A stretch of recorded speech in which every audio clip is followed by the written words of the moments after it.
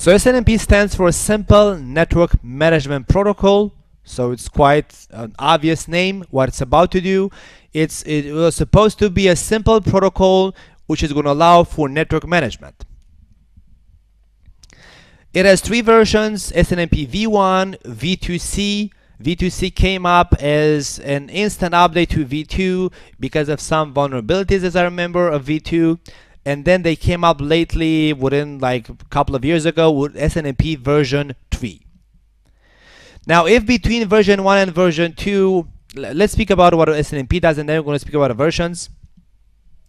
So now the SNMP is, as you're going to see, is used to somehow manage the network. We're going to see for which use cases.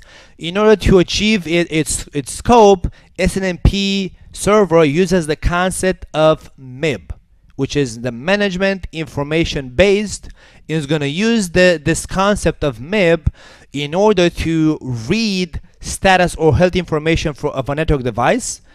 Like you can use SNMP to uh, connect to a device and, and read its CPU uh, status, its CPU, uh, let's say, uh, current level of current, um, what is the current CPU level? and you can also use those those MIBs, the management information base, in order to configure the network device remotely. So you can actually change the device's configuration via SNMP. Now within an SNMP communication, we have two roles, the SNMP agent, SNMP agent, which is going to be the network device, and the SNMP manager, which is going to be the SNMP server. Now, as I was saying, um, SNMP in order to perform its, its job, it is based on three main methods regardless of its version. So I'm going to speak in a couple about the difference between the SNMP versions, but most importantly that is that all of them are running via the same three main methods to achieve uh, to, to achieve uh, its scope. So we have what is called the SNMP get, which is an action performed by the SNMP manager against the SNMP agent to read device statistics, like for example, interface statistics. And this requires read-only access on the remote device on the SNMP agent, and this traffic runs over UDP 161. So for example, if you would, uh, if I would have installed on test server A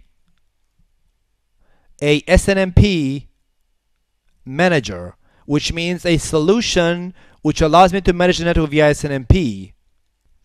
Then this, this, and then on the router, which is router 2, this is going to be my SNMP agent. So I'm going to configure router 2 for SNMP functionality, which means I'm going to enable the SNMP agent.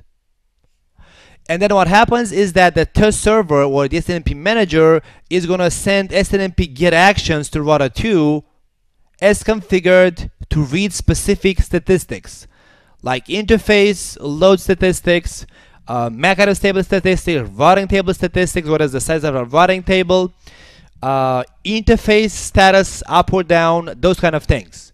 So this is that if you have ever, ever seen those big screens that monitor the network and they show you like what is the current uh, what is the current traffic flowing back and forward to a specific interface of a specific device that is being collected via SNMP because SNMP manager via SNMP get commands is going to read the load of specific interfaces for example and show you that up in a graph on, in the application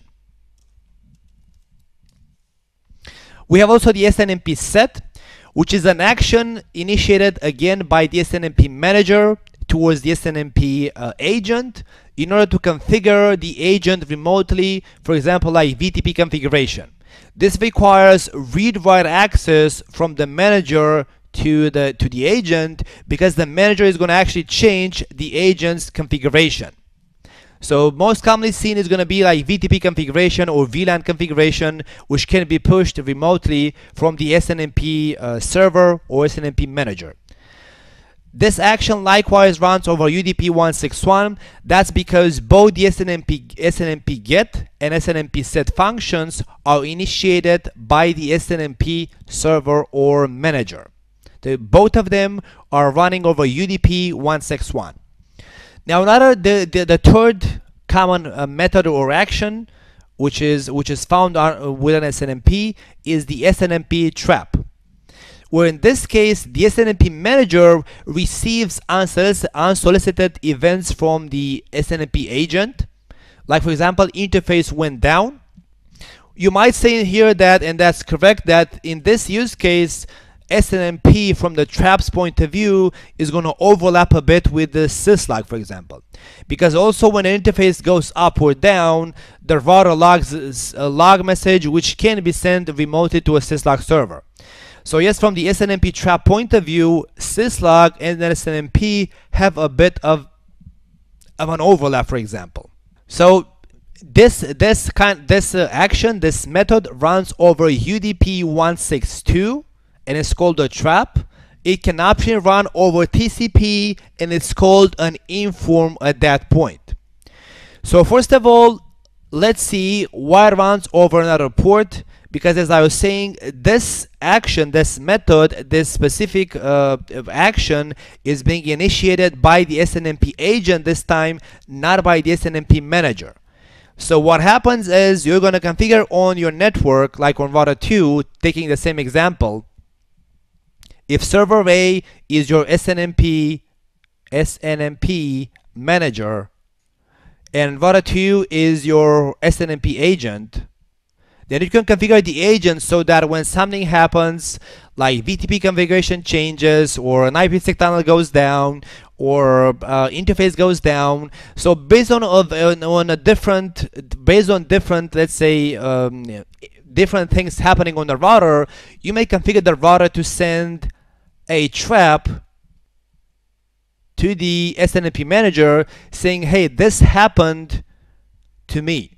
Like I lost this IPsec tunnel, I lost the VTP configuration, or somebody changed the VTP configuration, or the interface went down, MAC address table changed, I learned a new MAC address. So all those kind of things, it's a lot of traps being supported by this SNMP agent. So this is uh, the, the, the one difference between the set get and trap messages is that set and get actions are initiated by the manager towards the agent with the scope of reading some statistics or, or changing the configuration of the agent while the trap action is in, being initiated the other way around from the agent towards the manager alerting the manager that something happened on the agent. And because those two are two different uh, because the set get and trap are initiated by different entities it makes sense that I use different ports to be able to differentiate between those two from the security point of view. Likewise why would you speaking about speaking about traps why would you want to uh, enable why would you want to run traps over TCP which is going to be calling called an inform? For the same reason as we were speaking about syslog because you would want so that if the agent has to urgently signal to the manager that something happened, you would want the manager to be able to acknowledge the receipt of the message. So that's going to be what TCP offers. TCP is going to make sure that all packets were, were received by the by the destination via via uh, the built-in acknowledgement system. Otherwise, the, using UDP, it could happen that the agent sent the trap to the to the manager, but it never reached the manager because of network problems, to call it that way.